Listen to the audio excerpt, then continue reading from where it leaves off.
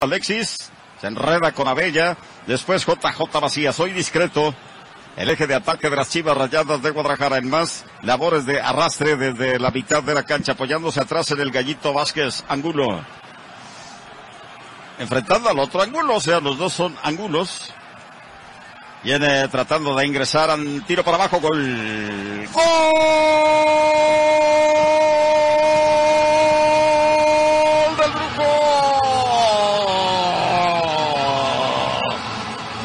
del La encontró en jugada individual y la puso al poste derecho, justo al poste derecho. Antuna.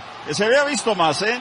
Se había visto más en el ataque que Vega y que JJ Macías. Así que Antuna consiguiendo su tercer gol del torneo. Sí, lo que hace el equipo del Atlas, le da el espacio. Primero por la izquierda, cuando tenía Alexis Vega, estaba buscando recorrer, amagar y tirar, porque la tiene muy hecha. Ahora lo hace Antuna por el lado izquierdo. El único espacio que le dieron, señor Jerónimo Camberos, lo aprovecha, le pegó muy bien, la dejó inalcanzable, la puso en el rinconcito donde nadie, nadie llegaba, señor Camberos Aguilar.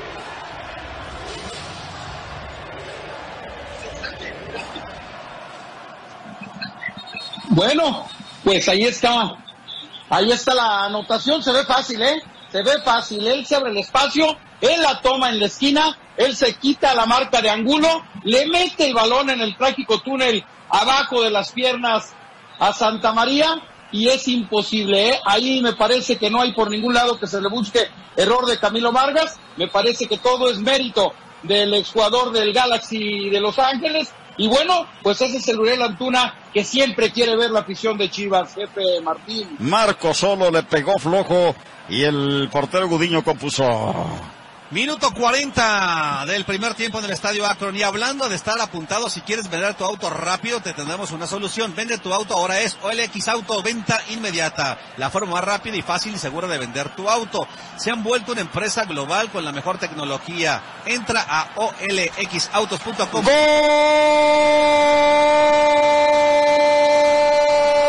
de Macías! Alexis Vega, la derecha, Antuna, la devolución al centro y no habíamos visto a J. J. Macías y ahí está apareciendo al minuto 41 en otra bella ejecución, una triangulación excelente en zona de ataque. Y a otra cosa, el 2-0 de Chivas sobre el Atlas. Otra jugada del equipo del Guadalajara, abriendo la cancha, los centrales no saben qué hacer. Otra vez se pierde Santa María y Macías. Este es el sello de la casa del señor JJ Macías, señor Jerónimo Camberos Aguilar. Son las que le gustan al ex de León, al que vino a Guadalajara para hacer esto. Y lo hizo de una forma espectacular en toda la jugada Angulo, pero se pierde Santa María. No sé qué opines al respecto. Sí, la verdad es de que Guadalajara ya clarifica y ya pone en el marcador lo que ha mostrado en este primer tiempo. Ha sido superior al equipo de los rojinegros, que no ha encontrado el rumbo, que no ha encontrado el camino y que ha jugado con poco espíritu, la verdad. Guadalajara con poco le ha alcanzado, ¿eh? Dos chispazos de calidad. Esta es una jugada muy, muy futbolera, donde Alexis ve muy bien la entrada de sus dos compañeros, inteligentemente. Allí Uriel Antuna le deja muerta la pelota, le dice, tómala papá, hazte famoso, le mete simplemente la pierna derecha y adentro calcetín Guadalajara antes de iniciar el, eh, antes de terminar el primer tiempo, parece que navega en aguas tranquilas en el Acron. Muy tranquilas las aguas. Sabor de siempre hoy. Se ve mejor que nunca Tecate evite el exceso. Nos informó el cambio por el equipo también del Guadalajara. Y viene tratando de atacar Gerardino dentro del área. Penalti está señalando Fernando Guerrero. Vamos a ver. Jefe, emocionate. Fue penal para el Atlas. No, no, no, definitivo. La primera bola que toca Jairo Torres, ¿eh? Me, me da la impresión de que hacía buen contacto, ¿no? Pero Fernando Guerrero. Es que no fue muy gráfico Fernando Guerrero, Martín, Mario, por eso corrió, nadie le reclamó. Y ahí está entrando en diálogo. Y a la cómoda jefe que No se la parecía, revisen, ¿eh? que se la bueno. soplen la gente del bar. Vázquez. Lo están revisando. Da la impresión de que lo El están gallito revisando. Vázquez fue el que llegó. Jero, Jero, te escuchamos. Sí, es penal. Ah, bueno. Es penal. Es penal, ¿eh? Me parece, creo que la decisión se va a quedar así, ¿eh? Eh, esto porque primero va en la barrida del Gallo Vázquez, hace contacto con eh, la pierna de ella. Y te iba a comentar justamente, jefe, el hecho de que la, una, la única alternativa que veo con el Atlas es esa, que su gente de cantera saque la vergüenza, saque el coraje, saque el amor propio del equipo y que, y que vea, vea por el, y que vea por el club. Ahora tiene la posibilidad, no quiero decir que sin merecerlo porque Guadalajara también ha dejado de hacer muchas cosas, de meterse al juego cuando todavía falta un mundo de tiempo. Así que el VAR lo hizo dudar como yo, ¿no, Martín? Sí, estaba Fernando dudando. Guerrero. Todavía Fernando Guerrero no toma la decisión. Híjole, yo la sigo viendo, pero bueno, la decisión ya, ya está tomada. En el bar está Diego Montaño y Arturo Cruz Hurtado, son los hombres del bar. Iba a decir, jefe, la primera pelota que toca Jairo Torres, pero no sé si la tocó porque es como una pared. Él va entrando como rayo por el sector de la derecha y viene la barrida del gallito. Por eso te digo, no sé si siquiera alcanzó a tocar la pelota. La primera acción en la que toma protagonismo el 7 es penal, el 20, perdón. Bueno, como dijo el jefe, ya se señaló y ahí está. Malcor va a cobrar. Puede acortar la distancia y hacer interesante. Ojalá sea como una puya en los toros, Martín. Sí, claro. Eh, venga la bravura de los rojinegros del Atlas. Malcor a Fernando Guerrero poniendo a todos en orden. Hacia el centro, Gudiño. Gigantón portero con experiencia europea. Nadie puede entrar ni a la media luna ni al área. Aquí viene Malcorra. En la media luna descarga el argentino, pierda izquierda, bailotea un poco el tiro, la tapó Gudiño, la tapó Gudiño hacia la izquierda. Nada más eso le faltaba al rojinegro. Minuto 26 del segundo tiempo. Radiorama, la cadena Cluna México. JC Barber Shop, excelencia, servicios para caballero, barbería, peluquería, podología, masajes, spa. Informa el marcador al minuto 71, tiempo corrido. Chivas tiene dos. El Atlas falló un penal cero. JC Barber Shop. Citas al 33, 36, 42, 88, 30. Bueno, pues ahí estaba buscando Correa. Reacciones en banca, Mario Valdés. Pues la gente de Guadalajara obviamente reacciona con júbilo tras la, tras la falla del equipo rojinegro. Vendrán dos cambios, vendrán Beltrán y el Tiba Sepúlveda a la cancha, mientras que con el Atlas de Sazón, no lo puede creer Diego Coca, insisto, llegan muy poco y cuando llegan con claridad como la de Luciano Acosta, como este penal, no son capaces de meterla. Parece que algunos jugadores del Atlas tienen atol en las venas. Así es. Y una llamada atención a Guadalajara. No quiere que reaccione, venga. Pero Si el, si del cielo te caen limones, enséñate a hacer limonadas, caray. Sin meterte en el juego, sin tener mucho mérito, tienes el penal, no puedes fallar. No, no puedes hacer eso. Y olvídate, puede ser una gran acción del portero, puede ser que te pero se la regalaste, se la entregaste abajo al arquero, le dijiste dónde y casi al centro. No puede ser. Irán Mier, abriendo para Conejo Brizuela sobre la misma banda, se sacude Angulo, se pone de frente a la pelota, manda hacia adelante para Saldívar. Ya otra vez, le filtran el balón, vamos a ver, se aprovecha, viene el segundo, viene el tercero, viene el tercero, Saldívar la pide, es el Cone que abre, viene Dieter, otra vez, viene, ¡Gol!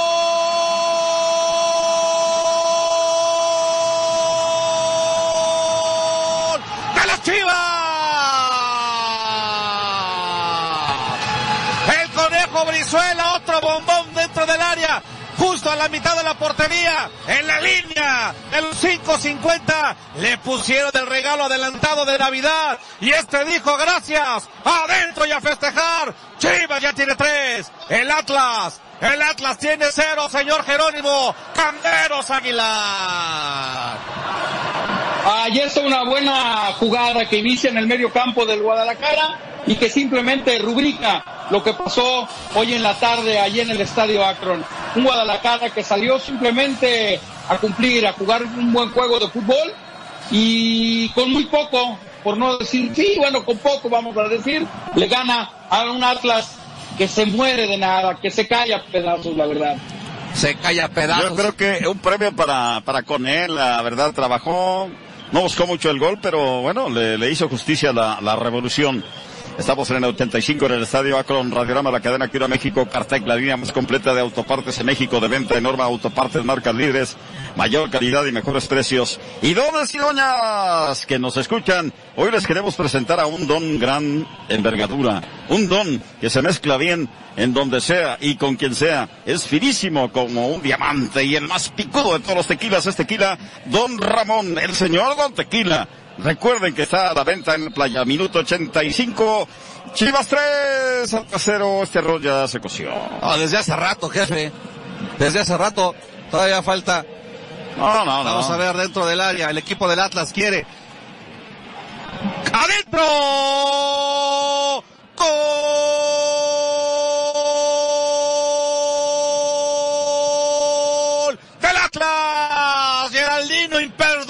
Fallarla. Hubiera sido pecado mortal. Se quedó solo frente al arquero, justo a la mitad de la portería, dentro del área chica. Tocó la pelota. Y por lo menos el de la honra en este baile que le están propinando al conjunto rojinegro. Señor Jerónimo Camberos Aguilar y están checando algo. Así es que todavía no lo vemos, no lo vemos por bueno, porque parece, parece que están checando si estaba o no en fuera de lugar, señor Camberos. Bueno, pues lo que checan o no me parece que también es, eh, en los goles siempre tienen que sacar conclusiones. Y en este sentido, en este, me hace que lo van a anular, cabrón. Lo estoy viendo en la repetición. Está muy cerrada, está muy cerrada la jugada. Antes del toque, Geraldino parece casi en línea con el Tiba Sepúlveda. Y. Ay, ay, ay, ay, ay, sí. Vamos a ver. Pero bueno, me parece que una vez más le demuestra a Geraldino a su técnico, al margen de lo que suceda, que es más jugador o aprovecha mejor las oportunidades que Correa, me parece a mí. Ahí están checando todavía. Sí, parece que le va a ir a revisar, mira. Que había salido la pelota, ¿no? Hay una jugada que... Cuando vino el centro. Vamos a ver qué dice. Parece que se va a mover. Amonestación ¿Vale? precisamente para ir a Mier por llegar y reclamar de manera irada. Ya que se lo dejen, hombre. ¡Ey, cálmate, Martín! Ya se Y lo sí, dejaron, ya que se lo dejen. ya Cartón le dijeron al árbitro, ya no le busques. El enojo de Mier con el central guerrero y por eso pedía la anulación del gol del Atlas. Geraldino que va por la pelota casi al final de la cancha sobre la misma línea, la rescata por el lado izquierdo, manda hacia adelante tratando el conjunto a los falta penalti.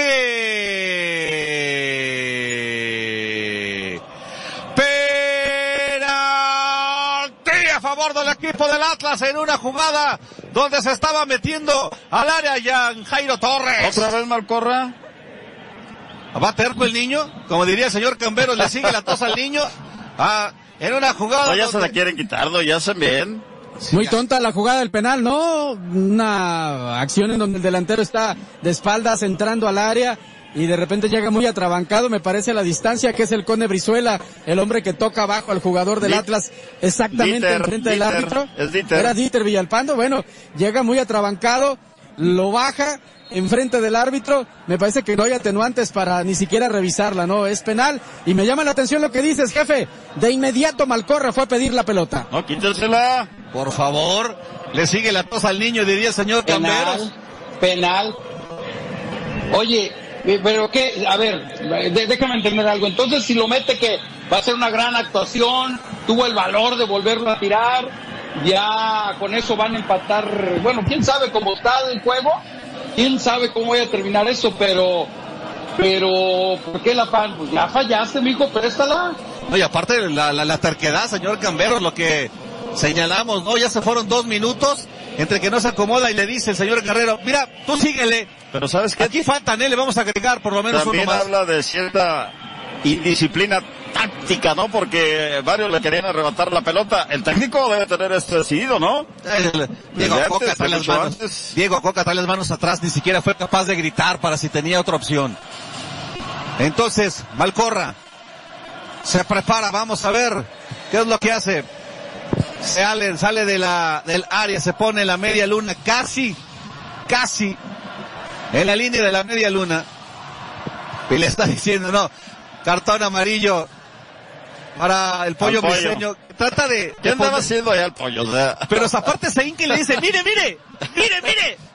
Está fuera, una rayeta, pero está fuera y se lleva el cartón amarillo. El pollo briseño. Malcorro otra vez de pierna zurda. Le dice, no. No, no, no, no, no, no, no frenes. Bueno, ya se acabaron los cinco minutos. No lo. Malcorra, prepara, Malcorra, apunta, bailotea, tira gol.